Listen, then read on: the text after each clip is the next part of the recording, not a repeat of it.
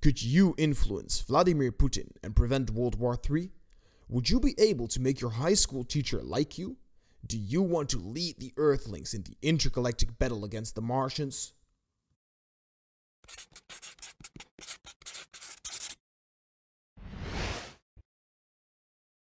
In part 1, we had a look at some of the fundamental techniques required for being a more likable and influential person. Being influential might sound like it's manipulative and a bad thing, but actually, we all manipulate people to one degree or another all the time. What's important is the way you use your manipulation. Are you using it as an influence to positively impact people's lives, or are you using it for selfish reasons, doing damage along the way? The next part of the book goes into more specific tactics, namely the six ways to make people like you. Yes, we too like to get recognition and appreciation. So, how do we elicit this response in other people? By being Bono, feeding children in Africa, of course. Is that a little too much?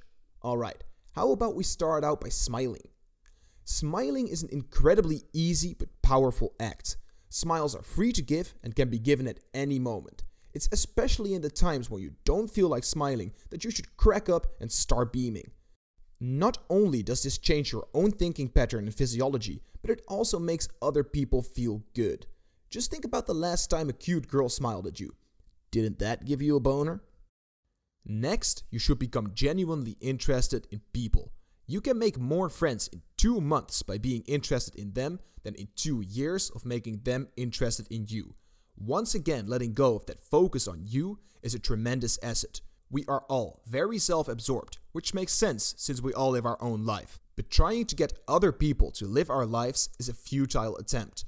After all, they've got tons of people tugging at them to live their lives every day. Instead, we should live a part of other people's lives voluntarily and sincerely. We should hide in the closet and watch them take a shower to get that really deep personal connection because many people will reject an attempt of taking their time, but will welcome any given time with open arms.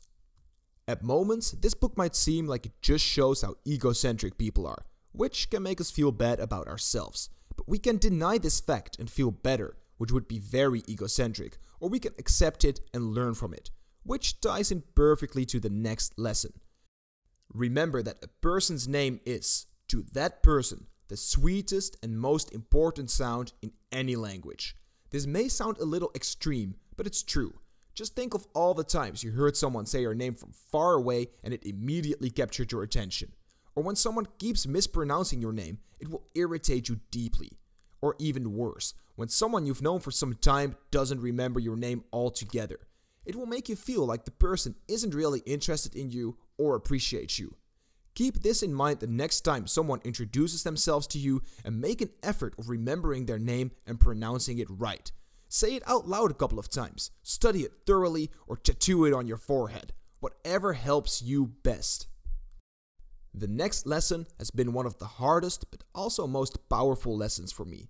It's being a good listener. But good listening goes beyond just listening. It's about asking the right questions to elicit a deeper response. When your coworker is telling you that she went to a Justin Bieber concert, don't ask why she didn't go to an actual artist. Instead, ask how long she was washing her panties afterwards.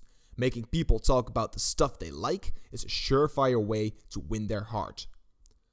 We'll combine the last two points into one. They are talking in terms of the other person's interest and making the other person feel important. I kind of gave away the importance of talking into the other person's interest already. And if you combine that with all the other previous tips, the sum will be that you will make someone feel important. And once again, feeling important will satiate that craving for appreciation and recognition we all have. After all the gifts this book has given us, we aren't even halfway done. But since we're running low on space and time, we'll compound some of the best parts together and you'll simply have to read the whole book to uncover all the gems. Here are some of the 12 ways to win people to your way of thinking. The only way to get the best out of an argument is by avoiding it. There is nothing wrong with discussing things, but arguments tend to get nasty and unproductive very quickly. Avoid them if you can. If for some reason you are in an argument or you are accused of something, admit it when you're wrong. Admitting when you're wrong diffuses another person extremely quickly and will usually make them admit their mistakes as well. Another handy trick is to start with questions a person will say yes to. Have them get into that yes mode before you ask them the questions that you really need the yes for. Hey Bob, do you like chocolate? Yes. Hey Bob, have you ever been swimming? Yes. Hey Bob, can I snort cocaine off your wife's boobs? Yes. Oh, the power of yes. An idea that I also love to implement is dramatizing ideas. It's taking stuff to the next level metaphorically. Instead of saying, I smacked a fly yesterday, say, So there I was, standing on top of the counter. I knew the bastard could see me, but little did he know that I prepared for this moment from the day I was born. In the blink of an eye, I was airborne, releasing all the tension in my muscles. I could see a face of shock in his round rester of eyes, and his wings started flapping as I swept the paper around and smacked him with a force that made the ceiling crack. You can also take stuff to the next level in a physical way, especially by challenging other people to something. Challenging someone whilst appealing to their noble motives is a great way to arouse powerful emotions in them.